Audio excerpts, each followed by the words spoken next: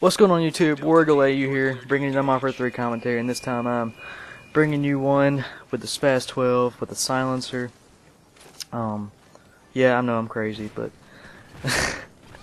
on terminal at that, so. And this is actually a, a MOAB fail. I was one kill off the MOAB and the game ends. So, you know, that sucks, but you'll see. It's, it's actually flawless too, so. Uh, I do get a few kills with my my MP9 though, but you you pretty much have to because this game is so long. Uh, this map is such a big map. But using a shotgun, like you have to be crazy to use a shotgun. Like you would die so many times, just because you can't sit there and wait for everyone to come to you. I mean, they're gonna know you're there by if they're calling a UAV or they see you. But anyways, uh, I'll talk to you about. Uh, this is actually about the time it's it's August, the beginning of August is about the time when they uh, they start leaking trailers of the and, and videos of the the next Call of Duty, and I wanted to know what you guys wanted from that from Black Ops 2 because uh, in, a few more days we actually should be seeing some seeing some uh, some gameplay and some leaked footage from it. So uh, and and usually in the in like Modern 3 and the Call the Call of Duty games before the next one they always leave like um, like a hint at what's in the next game. Like for example, in this game they left the quad rotor in the single player, which is supposed to be a new kill streak in Black Ops 2. So you know, and they've also been talking about the multiplayer. I mean, the single player, how it's supposed to be really, really like uh, like fun. It's supposed to be completely innovated and and changed, where you can actually control anything on the battlefield. That sounds amazing to me. So I, I, would really, I'm really looking forward to taking control of like a claw or a quad rotor, and just flying over the battlefield, just taking out people. That sounds like a ton of fun. So I'm looking forward to that. And Black and Zombies, that sounds like an entirely different game because they've gave its own campaign. Um, they've given its own campaign. Uh, they've added new. They've added like eight players to one game. You can play with eight, eight people now or something like that. So that's ridiculous, and it sounds like tons of fun. And they've this this game, it sounds like it should be three different games and all in one because it's it's like a Mass Effect, uh, a Left 4 Dead kind of, uh, and a Call of Duty game all in one. So it's it's amazing, and I suspect that since CDs can only carry so much, so many gigabytes of of uh, space, I suspect it'd be kind of like Battlefield, how there's so much stuff on it you have to download like massive patches when you install it. I mean when you run it for the first time because um, the CD can only handle so much, so you have to run it over the, over the internet. Um, partly on Battlefield, just because the maps are so big and there's so many guns and attachments and, and just so much crap in that game.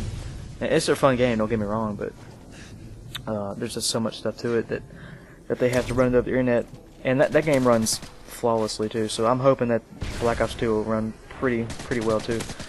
Um, uh, and actually we're we're really close to seeing some new new consoles come out. Like uh, I know the Ouya, uh, I forget what was called. What it's called? It's the uh, the console that gives you free games. Like it's in the Android market or something like that, where you can make your own game for free and you don't have to run it through any like licensing or anything like that. And hackers can actually hack it. Like they don't they don't ban hackers for hacking.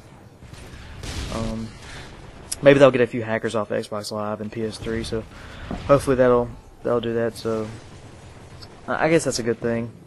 I don't see anything wrong with it. But and it's pretty cheap too. It's a $99 console for people who don't want to spend a whole lot of money buying games. Uh, if I had enough room on my setup for it, I'd probably get it eventually. But I don't think I'll get it just because I don't have any room for it with my my Xbox. But I'm definitely getting the Xbox 720 or whatever the heck it's going to be called, 480. I don't know. Um, I'm really looking forward to that because it's going to cost a lot of money, but I think it's well worth it for a better, better gaming experience, and uh, and it'll be like because the, these consoles are actually really old. They're like four or five years old or something like that, and they can run uh, games only this good. Like I don't understand like why why we've got consoles this old, and but the games look fine to me. I mean uh, they don't they look about as good as any game I've seen on PC, but I don't play a lot of games on PC, so I don't I can't really vouch for that. So, Yeah, I mean, it, it can run Crysis 2, which is the best looking game in the uh, in, in, the world, I, I, think, right now. Maybe Crysis 3 will look better. I'm, I'm, I hope it does. I mean, it's a brand new game, and Crysis 2 is like a year or two old already, so.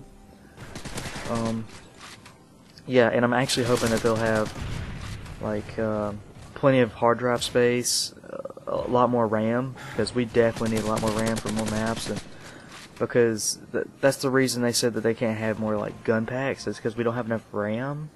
That's stupid. Because Battlefield can run fine. It's got them huge ass maps and so many different guns and attachments. It runs fine. Don't give me that bullshit, Treyarch or Infinity Ward, whoever, whoever it was that said that. So don't give me that bullshit. You can do it. And uh, I don't know why they don't make free gun packs. How hard is it to make a gun? Like honestly, I mean, you'd have to uh, you'd have to balance it, of course. But I mean, that's that's with anything. But the game's ending here.